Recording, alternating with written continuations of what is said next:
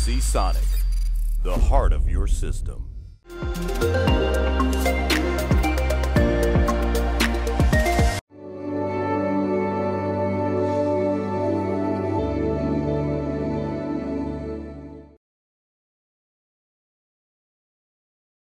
I'm Leo Waldock for Kit Guru here at Nangang. I bumped into the Australians Hardware Unboxed. We're just going to have a quick rattle through what we've seen at the show. But first, Tim, I think of him as Mr. Monitor. Uh, what has NVIDIA done at the show? Uh, well, they've sort of updated their G-Sync Ultimate branding with some new monitors. So G-Sync Ultimate was kind of a rebrand of G-Sync HDR from whenever they launched that, maybe like a year ago or so. Uh, and yeah, we've seen some new monitors. I think Asus was the big one. They kind of had a few different types of things coming out, and yeah, it looks pretty cool. The Asus Mini LED monitor. If you check that out, it's just just over there. Yeah, that looks really awesome. So yeah, it's just bringing HDR up to to a new level, and I'm excited to check that out. I think. With the Asus monitor, the, the 27 inch 4K everything monitor was like 2,000 UK pounds. So I saw that and I thought, okay, how much? My, my immediate thought was yes, but price. Well, to be fair, Asus wouldn't tell me, but they did say it would be more expensive than the other one. They were, I think they were a bit worried that if they told me a price, it would change because I think last time they announced a lower price and it ended up being way more expensive. So I think they're trying to avoid that again. Yeah, exactly. No, we, we had this with the Zeus. I think they told us the price of one monitor. Everything else was like, we don't know. Even the headphones, they didn't know. Yeah.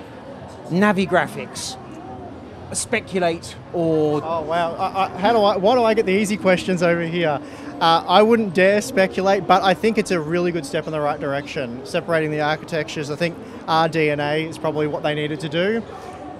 Based on what AMD is saying, it's going to be a little bit faster, a fair bit more efficient. But beyond that, I wouldn't dare speculate as to how it's going to go. But I think it's, like I said, a step in the right direction, and I'm not sure what we'll see for this first iteration, but I think down the line it will be the way to go for gamers. It, it amazes me. We, we know nothing. We know almost nothing about Navi apart from 7 nanometer. We think RTX 2070 territory.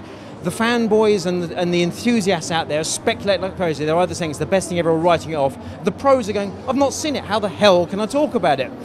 Back to monitors and screens. Uh, for creators has been a theme. Yeah. Is it different to for gamers or is it just a branding thing? Yeah, you definitely want when you're buying a monitor, you definitely have different things that you're looking for in a monitor for creators. You'll be looking at say IPS technology because of its good viewing angles, its really good color performance, as opposed to more your VA technology that gamers tend to like because of the contrast ratios. So, yeah, I think MSI's had some good creator monitors here at the show, so they're sort of getting into that territory. So I really like what they're doing. Um, In fact, on that score, as you mentioned MSI, their first 4K monitor. I had no idea they did not have 4K until this show. Yeah, it seems like in the space of two years, they've gone from having like one model to covering pretty much everything that you could possibly want. So, yeah, I'm really excited to see what they're saying. I mean, they say they're the largest growing monitor brand. Whether that's true or not, who knows? But yeah, certainly lots of models here. X570, Ryzen 3000, 16 core, obviously. What's going to really float your boat? Well, at the show, it's been great seeing all the X570 motherboards, and I think everyone's probably noticed they're really high quality now. So every board has a massive VRM on it, massive V-Core VRM, uh, and yeah, so they're great looking boards. As for the, the Zen 2 CPUs, that's another Navi question. We'll have to wait till we test them. But they, we, we obviously know where set where they're coming from with second gen Ryzen. We can only assume they're going forwards with that. So it's going to be pretty great. Uh, how great? Well, we'll wait for the reviews. Uh, and then the 16 core part, I'm still not 100% sure whether we'll see that this year or even for this revision of Ryzen 3000. Uh, what would they call it, for example? Would it be the Ryzen 10?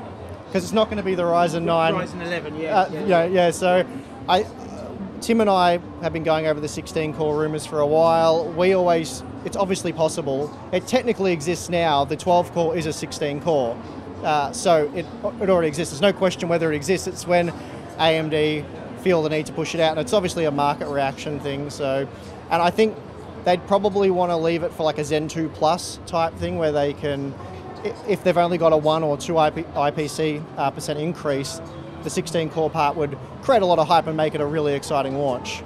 Now, we've all berated Intel for every time it's a new platform, new motherboard, even though the socket's the same, it's a whole new chipset, you can't put this, you have to motherboard and processor together. Mm-hmm. AMD's gone with AM4 to 2020, so we think it's going to be Zen 4, pos- uh, so Zen 2 Ryzen 4000 might well go to AM4. I suspect so. Get the model codes right.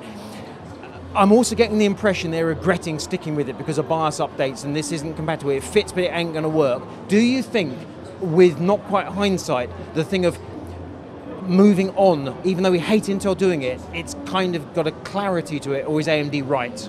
I think AMD's right to do that. I think it's a bad thing that Intel do it. It really should only be done when it's absolutely necessary for a socket change or memory support. I mean, we've seen that you can have different memory standards on the same platform, but I think that at least warrants. So G, uh, DDR5 rather would warrant the upgrade to a new AM4 Plus or whatever they want to do, AM5 or whatever they end up calling it. But yeah, beyond that, I don't think a BIOS update's pretty simple. Um, I know the 300 series, there's a little bit of confusion there, and there's BIOS size issues and things like that. Don't know why they can't offer multiple BIOS versions. 300 or 3000? Other 300 series chipsets. So the, the 400 chipset, uh, 400 series chipsets, they all support no dramas at all. The BIOS updates. The 300 series, we've heard all kinds of speculation and drama there. Everyone we've spoke to said our full range, except for A320, will support Zen 2.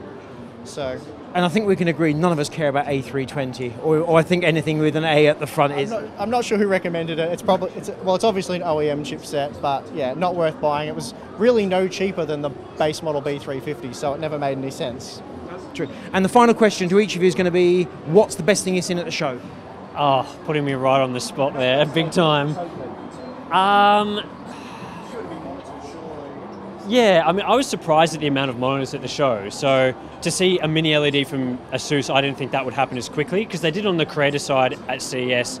To get that in as quickly, I think surprised me a lot. So that's probably my big one. But I also like the mini ITX motherboards for X570 because we brought a mini ITX system to edit here. So to do all of our you know video creation, so to be able to maybe next year bring a X570 Mini ITX with a 12-core CPU on it is pretty exciting. So yeah, those two things I reckon. Same question to you, Steve? Yeah, there's been loads of exciting products, but for me, it's the X570 motherboards for sure because I'm most interested in them. I'm excited to test them out. I'm honestly expecting them all to be really good, though. I don't think there's, I haven't seen a bad one. Uh, even the base models have you know, really good feature sets, great VRM. So yeah, they've been good to see, but everything's great. There's great cases, great coolers. But yeah, for me, it's the motherboards, I think. And judging by the comments below your video, very final question. When it comes to a new GPU launch, do you do all that game testing manually? Yes, yes. A busy, busy man. Thank you, chaps. Appreciate it. If you like this video, give it a thumbs up. Make sure you check out Hardware Unboxed. You will already know them. I'm Leo Waldock for Kit Guru. This is Computex 2019. Hit the bell button. Return to us to see more videos.